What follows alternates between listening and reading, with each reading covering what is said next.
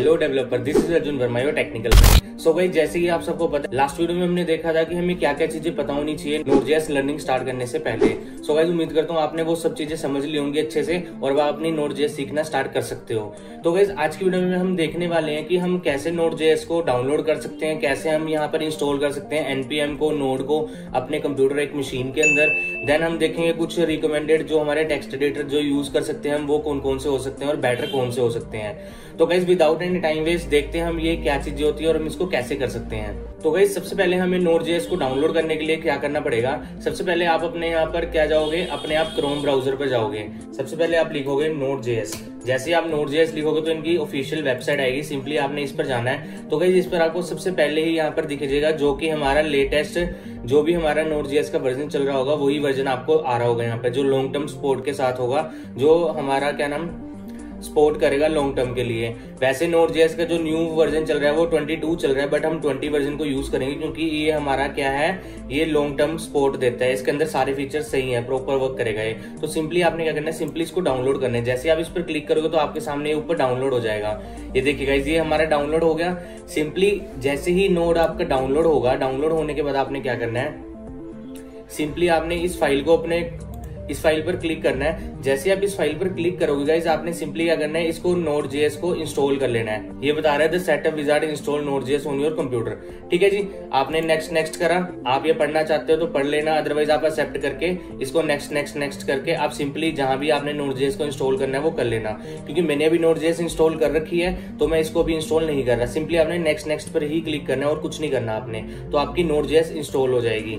ठीक है गाइज़ अब इसके बाद हमारे पास क्या आता है? इसके बाद हमारे पास आता है यहाँ पर जैसे कि आप फ़ाइल में देखोगे कि हमने बोला है नोट जेस डाउनलोड तो कर ली, हमने डाउनलोड करके हमने इंस्टॉल भी कर ली नोट जेस एक ही एनपीएम क्या है? बेसिकली एनपीएम क्या है? नोट पैकेज मैनेजर है, जो क्या करता है? एक बहुत बड़ी नोट जेएस की लाइब्रेरी है, जिसके अंदर बहुत सारी तरह के फीचर्स आपको मिल जाएँगे बने बनाए, जो आपको डायरेक्टली यूज़ करने होंगे। सिंपली आप उसको एनपीएम इंस्टॉल करोगे। इंस्टॉल करने के बाद आप सिंपल तो आप उसको डायरेक्टली यूज़ कर पाओगे अपनी नोट जेएस एप्लीकेशन के अंदर। मतलब जैसे आपको एच का पता होगा एचटीएमएल के अंदर क्या होता है? एक बूस्ट लाइब्रेरी होती है। जब आप बूस्ट को एच में इम्पोर्ट कर लेते हो तो उसके बाद क्या होता है उसमें कि आप बूट के जो फीचर्स होते हैं, जो उसके बने बनाए जो कंपोनेंट्स होते हैं, वो सारे आप इजीली यूज़ कर पाते हो। सिंपल आप कॉपी पेस्ट करते हो और वो आपके चल जाते हैं। सेम एज इट इज़ यहाँ पे ये नोड के लिए इन्होंने बनाया हुआ है नोड पैकेज मैनेजर ये बेसिकली यही होता है। और जब आप ये नोड को डाउनलोड करते हो तो इसके साथ ही आपका एनपीएम भी डाउनलोड हो जाता है। अब ये जब आपका दोनों चीज़ें डाउनलोड हो जाएँगी तो सिंपली आपने क्या करना है? कुछ नहीं करना।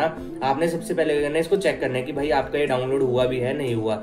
आप या तो अपने किसी कोड एडिटर के अंदर कर सकते हो। अगर आपने अभी कोई कोड एडिटर नहीं किया तो आप सिंपली यहाँ पर लिखोगे सीएमडी सीएमडी लिखने के बाद आप यहाँ लिखोगे node space hyphen v minus v तो गई आपको यहाँ पे देखिए वर्जन दिख गया है ट्वेंटी वर्जन चल रहा है हमारा नोड जेएस का।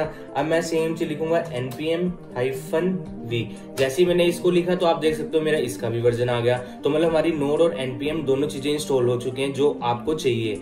नोट जेएस आपको चलाने के लिए अपने कंप्यूटर में सिर्फ़ यही एक चीज़ चाहिए, जो कि नोट जेएस की आपका नोट जेएस की जो आपने फ़ाइल डाउनलोड करी है, उसको इंस्टॉल करा है। उसके साथ आपका एनपीएम और नोट दोनों चीज़ें आ गई हैं। बस आपको इससे ज़्यादा कुछ नहीं करना नोट जेएस के लिए। बाकी आपको जब एप्लीकेशन बनाओगे, कोई नोट जेएस की एपीएस बनाओगे, कुछ भी करोगे, उसके अंदर आपको उसके जो भी हमारी लाइब्रेरीज को यूज़ करके हम एनपीएम की, हम कुछ भी फीचर्स यहाँ पर बना सकते हैं, किसी भी तरह की चीज़ें हम यहाँ पर कर सकते हैं।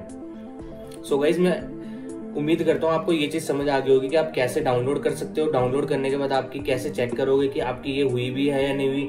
अगर आप सेम यहाँ पे लिखते हो नोड हाइफन भी अब अगर आपको दिखेगा कि यहाँ पर लिखा हुआ आ गया ये अभी मैंने गलत लिख दिया यहाँ पे नोड अगर आपको दिख, दिखेगा कि यहाँ पर लिखा हुआ node J S is not recognize in internal and external command मतलब नोड जे एस आपकी अभी इंस्टॉल नहीं हुई है। अगर आप सही लिखोगे तो आपकी ये प्रॉपर वर्जन दे देगा ठीक है?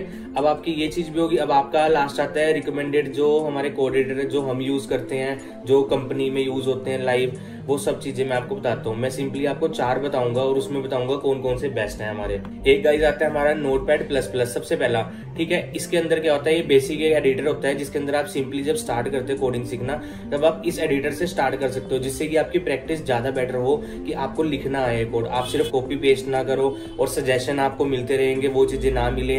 आप सिंपली बिना सजेशन के खुद लिखो कोड ताकि आपको अच्छे से अंडरस्टैंड हो कोड कैसे लिख रहे हो आप। उसके बाद गाइज़ एक आता है हमारा सबलाइम टेक्स्ट एडिटर ये भी अच्छा एडिटर एडिटर है, इसके अंदर भी आप जब लिखोगे तो आप प्रॉपर लिख सकते हो कोड अपना अच्छे से मैनेज कर सकते हो बट इसके अंदर भी आपको एक पेड वर्जन मिलता है। अगर आप उसको यूज़ करना चाहते हो तो आप उसको अपग्रेड कर सकते हो अदरवाइज़ आप नॉर्मल से भी सारी चीज़ें कर सकते हो बट इसमें भी आपको सजेशन प्रॉपर नहीं मिलते हर तरह के। एक आता है हमारा एटम ये भी कुछ बंदे, कुछ डेवलपर्स यूज़ करते हैं बट मैंने आज तक कभी यूज़ नहीं किया। मैं आपको सच बताऊँ, क्योंकि मुझे इसका इंटरफेस कुछ सही सा नहीं लगता, इसलिए मैंने आज तक इसको यूज़ नहीं किया। बट आपको अगर अच्छा लगता है तो आप इसको भी यूज़ कर सकते हो। मेन आता है हमारा विजुअल स्टूडियो कोड सबसे बेस्ट जो कि हर इंडस्ट्री में, हर डेवलपर हर कंपनीज़ में यूज़ होता है हमारा वी एस कोड जब भी आप इसको इंस्टॉल कर लोगे तो गाइज़ आपको पता ही है वो इस तरह से कुछ आपको दिखेगा ये मेरा कुछ रिएक्ट जेएस का कोड बना हुआ है, ये वो मेरा आपको दिख रहा है यहाँ पे। मैं इसको क्लोज कर देता हूँ अभी के लिए। ठीक है जी।